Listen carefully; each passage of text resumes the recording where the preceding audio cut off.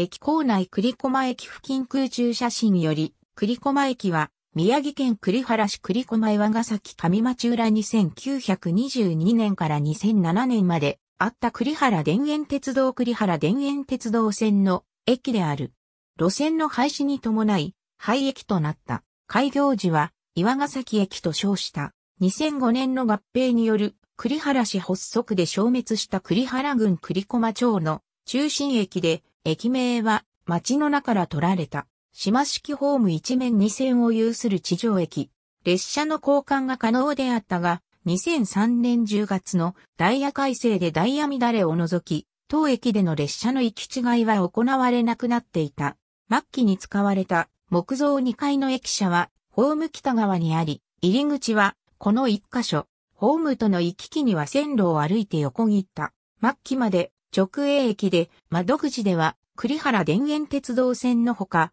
宮古バスの乗車券も発売していた。栗原田園鉄道線が宮城中央交通の路線であった頃の名残で、駅舎内に路線バスの営業所が曲がりしていた。この営業所は宮城中央交通岩ヶ崎営業所として設置されてから宮城交通栗駒営業所、宮古栗原バス本社営業所と名を変え、最終的に宮古バスの栗駒営業所となって、栗原田園鉄道廃止後も存続したが、2008年7月末で廃止となり、その後駅舎も解体された。駅前は岩ヶ崎の市街地にあり、街並みが駅の北に広がる。駅前から道を数本過ぎて、西に降りた先が6日町、東に折れた先が八日町で商店街がある。宮城県道4号、中田栗駒線がさらに北で東西に走り、北西で国道457号に接続する。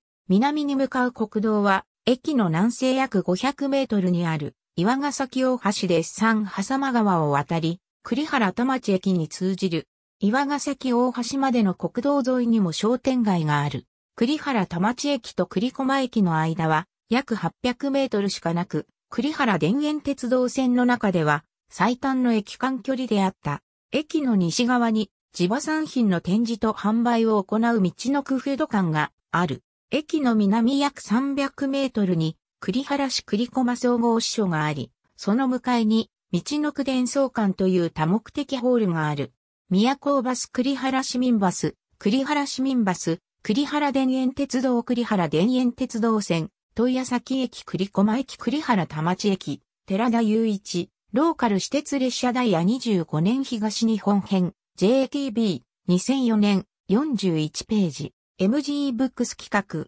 編集、さよなら。栗電、栗原田園鉄道公式メモリアルブック、MG コーポレーション、2007年、68ページ、同書69ページに開業時の木造駅舎の写真があるが、建て替え時期は不明。ありがとうございます。